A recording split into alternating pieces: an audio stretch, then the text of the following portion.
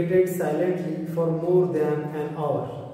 It was pitch dark in the cellar. Then suddenly a point of bright light appeared in the floor of the cellar. Then a line and a gash seemed to open, and a hand appeared. A broad stone turned over upon its side and left a square hole. A boyish face emerged. The man looked about and came out of the hole. He had a companion with him, a man with very red hair. The pair was none other than Spaulding, the assistant, alias the criminal Clay, and the red-headed Mr. Duncan Ross. As soon as they climbed out of the hole, Sherlock Holmes sprang out and seized Clay by the collar. The other dived down the hole and disappeared. Clay took out the revolver, but Holmes hit him on his wrist and the revolver fell on the floor. It's no use, John Clay, said Holmes. We have caught you. So I see, but my friend has escaped. Holmes replied, He cannot escape. There are three men waiting for him at the other end. The Holmes handed over Mr. Clay to the policeman.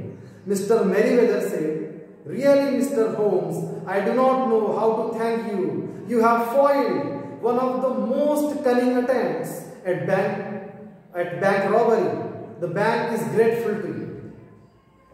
जब उस seller में उस dark seller के अंदर उस तहखाने में mister Holmes mister Merryweather mister Jones और डॉक्टर वॉटसन उन क्रिमिनल्स के आने का इंतज़ार कर रहे थे, तभी उस सेलर के फ्लोर यानी फर्श पर, नीचे से अचानक रोशनी नमूदार होती है। एक बारीक लकीर रोशनी की दिखाई देती है।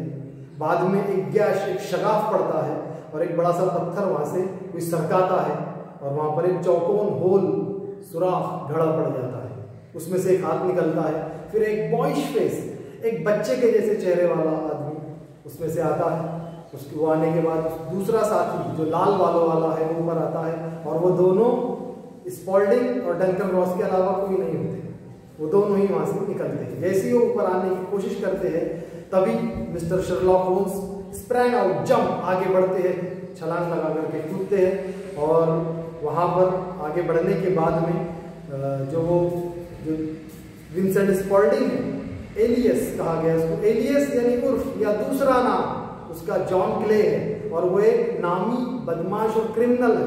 उसको कॉलर से पकड़ते हैं कि क्ले को कॉलर से पकड़ते हैं। तभी वो अपनी रिवॉल्वर निकालता है। जैसे वो रिवॉल्वर निकालता, मिस्टर शर्लॉक होम्स, जो जासूस डिटेक्टिव है, वो अपनी छड़ी उसकी रिस्ट पे मारते हैं। रिस्ट यानी कलाई पर ज़ोर से मारते हैं और उसके हाथ से रिवॉल्वर फ्लोर पर, नीचे फर्श पर गिर जाती है।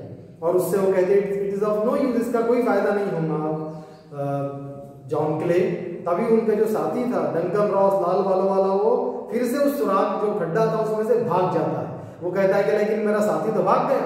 तभी शर्ला होम्स कहते हैं कि उसके भागने का कोई फ़ायदा नहीं है, क्योंकि जहाज़ वो जिस तरह को भागेगा, दूसरे एंड पर, उस सिरे पर, तीन लोग उसका वहाँ पर इंतज़ार कर रहे हैं। और यहाँ से अब तुम पकड़े गए इस तरीके से वो कहते हैं। और मिस्टर जोन्स, जो स्कॉटलैंड यार्ड के पुलिस ऑफिसर है, उसके हवाले जॉन के लिए कर देते हैं। तभी मेरी वेदर, जो उस बैंक के चेयरमैन है वो शुक्रिया अदा करते हैं मिस्टर जो, मिस्टर होम्स का, कि आपने इतनी बड़ी जो ये रॉबरी होने वाली थी, रॉबरी यानी डकैती होने वाली थी उसको फॉइल कर दिया। फॉइल यानी नाकाम कर दिया, नाकारा बना दिया। और हम, और ये बैंक आपकी ग्रेटफुल है। ग्रेटफुल यानी कि आपके थैंकफुल है, आपके शुक्रगुजार है। इसके बाद इंशाल्लाह we will see what happen in our last video अल्लाह हाफिज़।